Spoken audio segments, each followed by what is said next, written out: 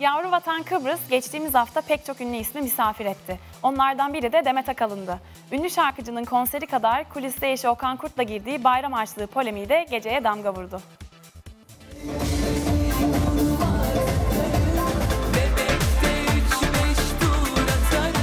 Demet Akalın çılgınca dans ederek kimden neyin intikamını aldı? Al işte al al al. Oh oh oh oh. Demet Akalınlı Kıbrıs gecelerinde yaşananlar Magazin 8'de. Yavru vatan Kıbrıs'tayız. Demet Akalın sahnede. Enerjisi tavanda. Döktürüyor da döktürüyor.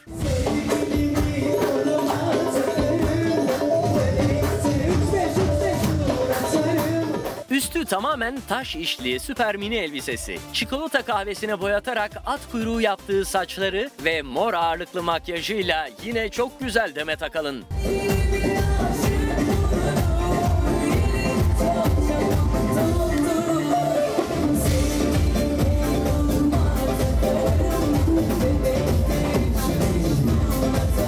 İmajında bir değişiklik yok ama repertuarı sanki yenilenmiş. Tarkan'ın Ahde Vefa ile yarattığı Türk sanat müziği rüzgarına Demet Akalın da kapılmış. Yalvarışın çok geç beni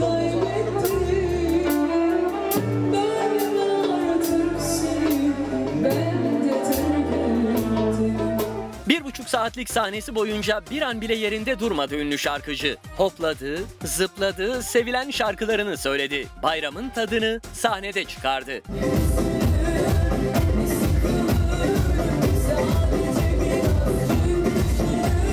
Sahneden kulise eşi Okan Kurt'un elini tutarak indi ünlü şarkıcı. Keyfi pek yerindeydi. Dans ederek karşıladı gazetecileri. Mehmet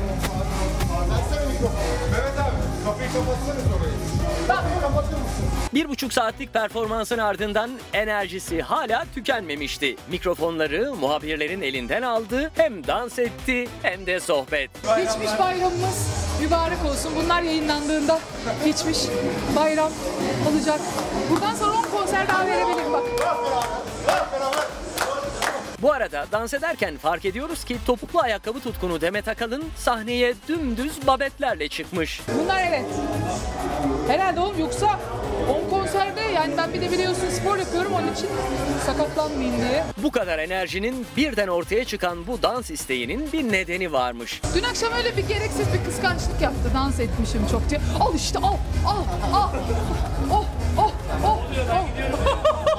Kulağa parmakları pırlantalarla doluydu Demet Akalın'ın. Acaba bunların arasında bayram hediyesi var mı diye sorduk. Ünlü şarkıcının yarasına tuz bastık. Meğer bu sene hiç bayram harçlığı toplayamamış. Minik sen bana bayram harçlığı vermedin ya. Ama elini soksanız gerekir. Ya parası yok parası. Param var mı? Yok ki bak. Para yok valla. Oğlum Para yok, para yok. Adamın cüzdanı bende, nüfus cüzdanı bende, pasaportu bende. Eşine bayram harçlığı vermedi diye kızarken Okan Kurt'un kimlikleri dahil tüm varlığına el koyduğunu da ağzından kaçırdı Demet Akalın. Ünlü şarkıcı durumu anlatırken Okan Kurt çaktırmadan kaçtı ama kulisten sohbete dahil olarak herkesi kahkahaya boğmaya devam etti. Okan Bey'in cebinde para yok. Paraları bende oğlum. Ben kendi... Para yok. Minik para.